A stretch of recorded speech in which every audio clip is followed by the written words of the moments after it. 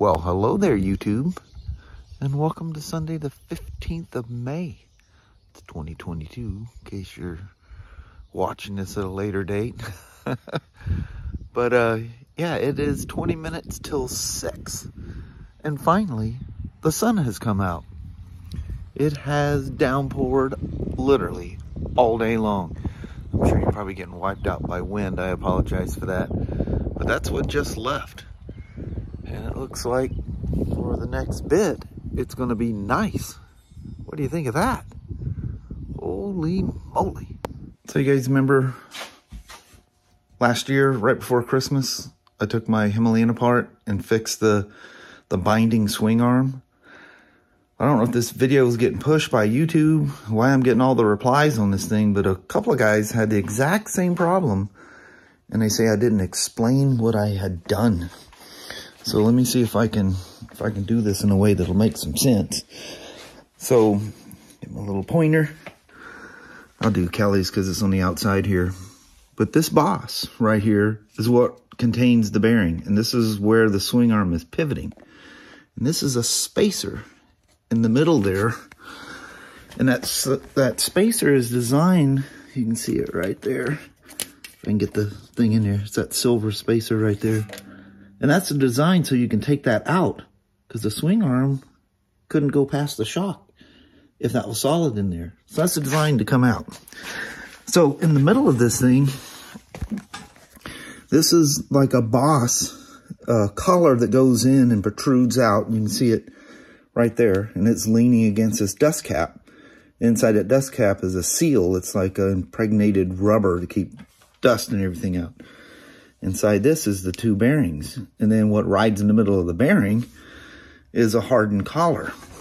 So what had happened is they had grossly over torqued. Remember I had to use that crazy high powered impact wrench just to get the pivot bolt loose. They had torqued it so tight that the bolt, you know, obviously obviously has strength and then this uh, bearing collar, you know, it's super, super hard. And this spacer is soft. So this thing, where this joint is designed so that you can, um, what is that on there? I just marked up Kelly's seat.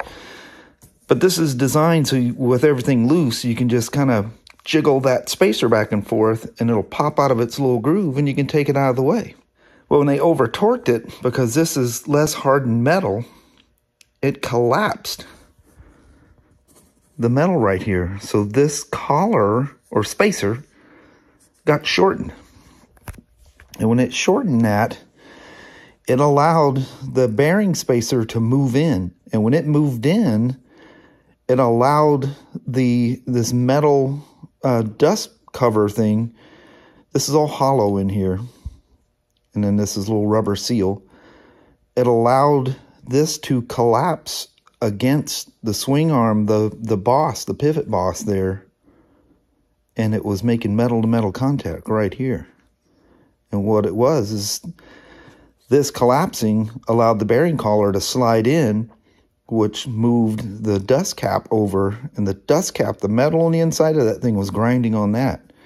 And prior to that, the massive lube that the Indians put in these things that Royal Enfield does, um, it held until it finally ate through the grease and the grease started dispersing.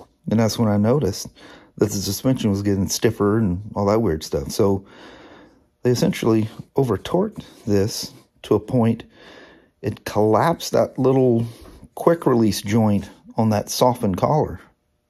It didn't have this didn't have a fighting chance against that against that hardened bearing collar or spacer didn't have anyway, it collapsed it. So I found a shim that would fit inside this cup. I can't believe I found that thing in here. But I found the shim. I don't remember what the what the size was. And uh, but anyway, the inside diameter fit perfectly on the pivot bolt. And I put it inside that cup. I just put some grease in there so it'd stay in place. And of course, you can stick your finger in there and move the washer around so that it's centered. Then slide your pivot bolt in but that spaced it back out. So I had this room inside there. It was too complicated to try to explain that when I was doing it at the time. so I hope that helps somebody. Apparently, uh, I'm not the only one that got one that was over torqued. Need to take them uh, high-powered air guns or electric guns from them boys on the assembly line. That all needs to be done by hand. You guys know that. So I dragged the Himalayan out, grabbed my gear. Now, a uh, dark cloud from heck is coming. Come on. Give me a break, will you? Although I should be thankful I'm even pondering the idea of going for a ride, shouldn't I?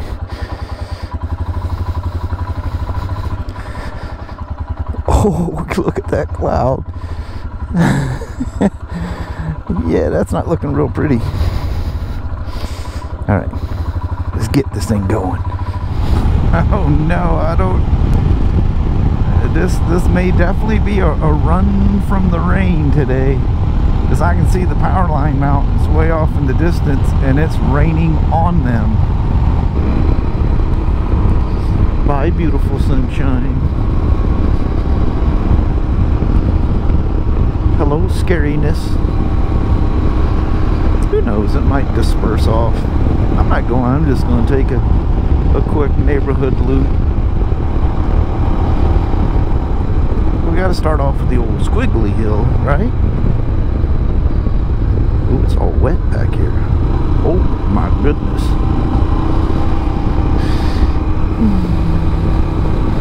It's been a chill day anyway.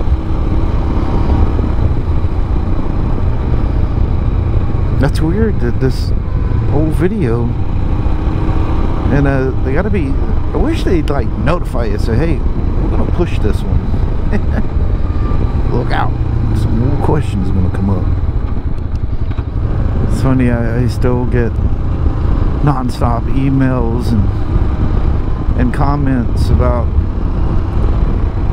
what's the first thing I should do to my bike. You know, should I put shocks on it, extra lights, and all this other crap? You don't even have the thing yet. Write it. You may find you need to do nothing to it. And the very last thing I would do to something is immediately start throwing cheesy Chinese lights on on them and start messing around with the suspension. right the thing. What makes me think about that is this thing, you know, acting up. Look at them beautiful horses. Ooh, didn't mean to scare you. Sorry there, feller so you know I, I put those things on my Road King and uh, right away because they have the inch of sag they're 13 inch the legends they're 13 inch and they have you set them up for one inch of sag immediately my headlights pointing in the air. I dealt with it for a little bit until I realized they were they were leaking. And that was what two or three years ago I still haven't swapped those things out.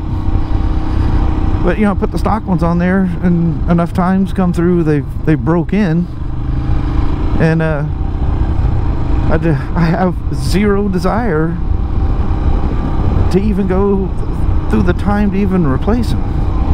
They don't do anything wrong, even two with two up. You know, you reach back there, and uh, I got the amount of clicks I put on the on the uh, the dampening thing there.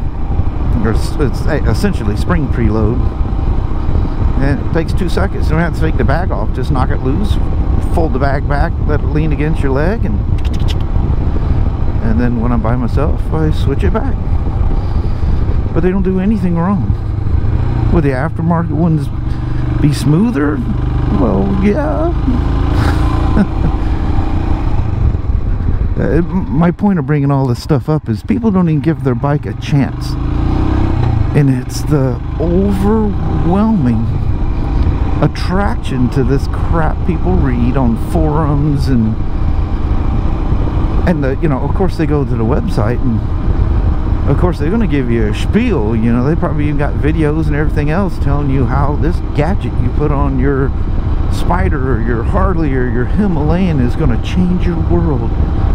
For safety reasons, this not this needs to be done. You always got to throw that safety thing in there. Safety sells. Put the fear in them. I think what kind of drives me nuts more than anything else is a lot of things they put on there don't make it better and in some cases makes it worse. I won't go into details just my thing is is you know why wouldn't you go out and enjoy the bike? If it needs something ride it for a while and see what you conjure up that it may need. And people go well I gotta make it mine. I said well that's cool but don't janky the thing all up. And I think what what what's very frustrating for like us, where there's very few aftermarket, like on Spyders, for example. There's very few of that stuff we even put on. Nope, won't do it.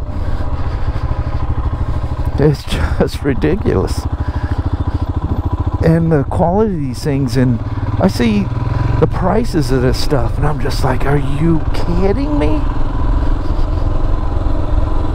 You know, they're, them things are being made for literally pennies on the dollar. And they're just so cheaply made. I'm thinking, I got this really expensive Spyder and I'm going to put this kind of stuff on there? I don't think so.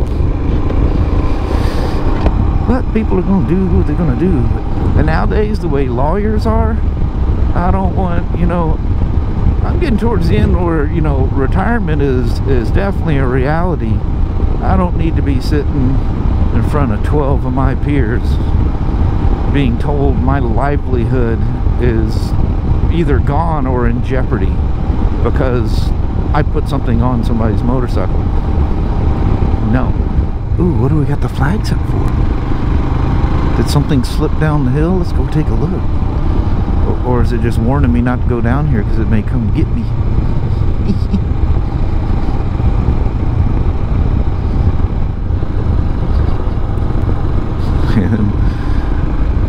no, you get that thing that falls out of the trees. It's the seeding and stuff, and it that, that stuff can become slippery. just keep going this way. It keeps getting nicer as I go. Oh man since I did the uh, uh, the fix on the swing arm on this thing, you know, I, I just knew something until it made a noise. That's when I'm thinking, all right, something seriously, something's wrong here. You know, it should, well, number one, it should never make that squeaky sound. But, uh, yeah, I thought, okay, I took Kelly's apart because we put the lowering link on it to try to make her bike safe for her and um, all the grease that was packed in there. And I mean they do a really good job putting these things together. I mean they don't leave they're not worried about getting grease on their assembly line like a lot of other manufacturers. They put just minimal. And more like a preservative than an actual grease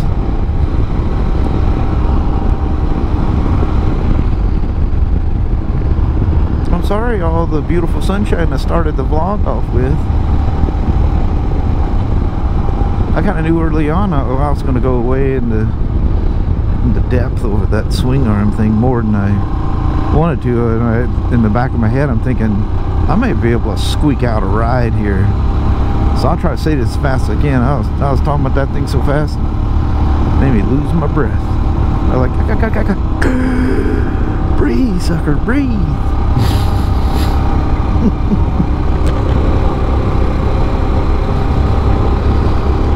kind of scary being out here all alone. All kinds of crazy stuff out here.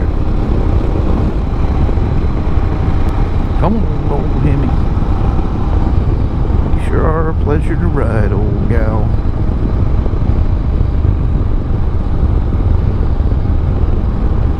It's comfortable plenty fast. It never seems, the only time it seems wanting is when you're trying to get up to speed really quick. And literally that's the only time you notice it. Like going up this hill, that thing's pretty steep. I didn't even think about this thing.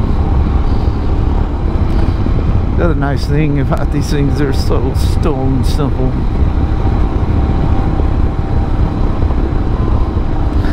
Just that legendary reliability.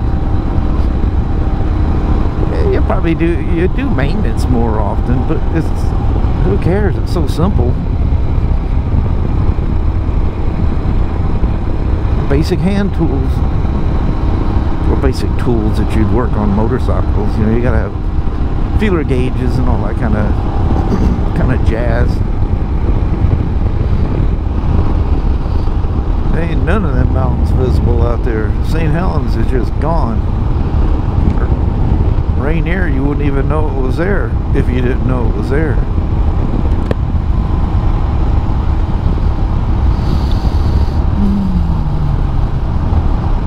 Howdy, hee-ho. Oh, Kelly got her, uh, because she was a day ahead of mine because I didn't have all the stuff. but she got her uh, enhanced driver's license. So I'm assuming mine being the day after, it'll uh, it'll be here tomorrow. Doesn't look any different other than it says enhanced license. There's supposed to be antennas and all these stuff in there, and it just looks like a regular driver's license. But anyway, I'll rip on back to the house. Maybe I can even squeak in a goodbye before the rain hits. How about that? All right, see you guys here in just a moment. Well, hello there, YouTube. Only been home about 10 minutes. Thought I better come get the bike in before I'm putting it putting her away wet. Yep. Rains are coming. But as nasty as that looked, I, I thought for sure I'd have been wet a long time ago, but just didn't happen. Which That's okay. good. Yeah, no problem with that. I did get a couple of sprinkles out there, but just kind of, just a little passerby. Not enough that it even stuck to anything. But it does look kind of nasty coming this way. That one looks nice behind us though, doesn't it? Or a whole lot nicer. Yes. But anyway, that's that for a Sunday. Mm-hmm. Mom was doing her little artsy fartsy things in there, and I was goofing around doing little researchy and weird things I do on the weekends. I know. Always looking in the sun. I get a little Sidetracked interest in, and in something, and I go on a on a I go down the rabbit hole. Oh yeah, definitely. Head first. Yeah. But anyway, that was fun taking the old Himalayan for a ride. If I didn't think it'd rain, talk to Mama into going out there. I know, and I I was thinking there ain't no way he's even going to leave the driveway before the rain hits. yeah, Yeah. Yeah, I came out- It was black.